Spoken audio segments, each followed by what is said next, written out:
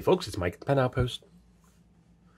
Next up in the Kyoto series is a color that they consider a violet, even though it is named after a bean called the Azuki bean, which is red, kind of a reddish violet, purple, reddish, brownish color.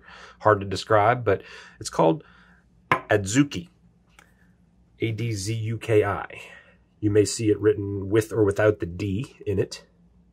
So Adzuki or Azuki or Azuki. I'm not sure how that's pronounced, but that is the color. It's basically a reddish violet or a reddish purple.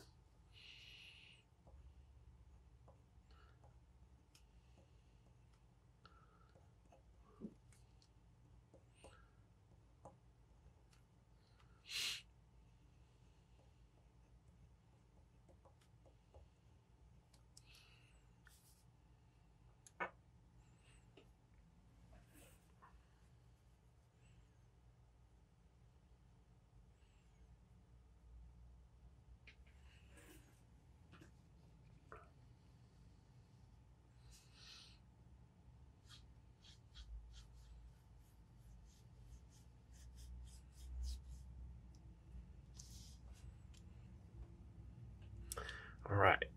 So it lays down more like, I think what you would kind of call a red black, but it has that just little bit of a lean of burgundy to it. And I think that's where it ends up falling. It ends up falling somewhere around the more of a burgundy than anything else.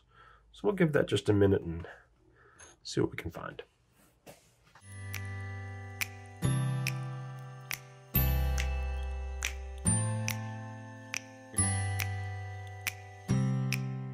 Okay, looking good.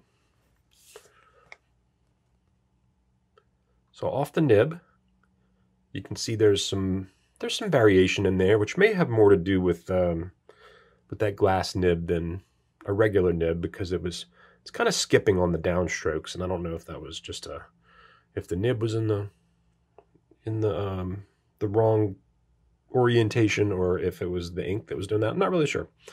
Either way, what we have here is a lovely I mean, I'm I'm closer to calling it a red black now than I was a burgundy before, but it just depends on your definition of burgundy. And um, I'll show you what I mean because Noodler's definition of burgundy to me is almost purple. Uh, it's more of a that kind of magenta, uh, purpley burgundy. So it comes off the nib closer to a burgundy, but once you swab it down, it lightens up like most colors do. So not even close which is fine, you know. And then I pulled red black. We're going all noodlers on this one. Very, very similar, um, kind of a base color. This one pulls a little bit more purple. And then there's Noodler's. Whoops. There's a surprise at the end. Noodler's Nightshade, which is closer in color to the darker areas. Very similar. Kind of that really dark. Uh, you could almost call it a maroon as opposed to a burgundy. And then there's that last one. Uh, Diamine's 150th Burgundy Royale. Very, very similar color. More saturation of color, but basically the same color, more or less. Uh, even off the nib, they, they look a little different, but they're very, very, very close. So, you know, two different Burgundies, but this is the one that really looks like that Adzuki Iro. So, Another nice color.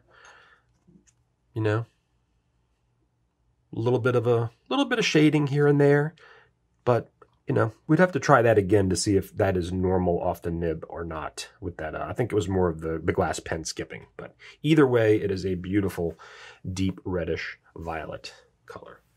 Adzuki Iro from Kyo no Oto. 3 milliliter sample, 40 milliliter bottle, the Pen Outpost on eBay, and the thepenoutpost.com.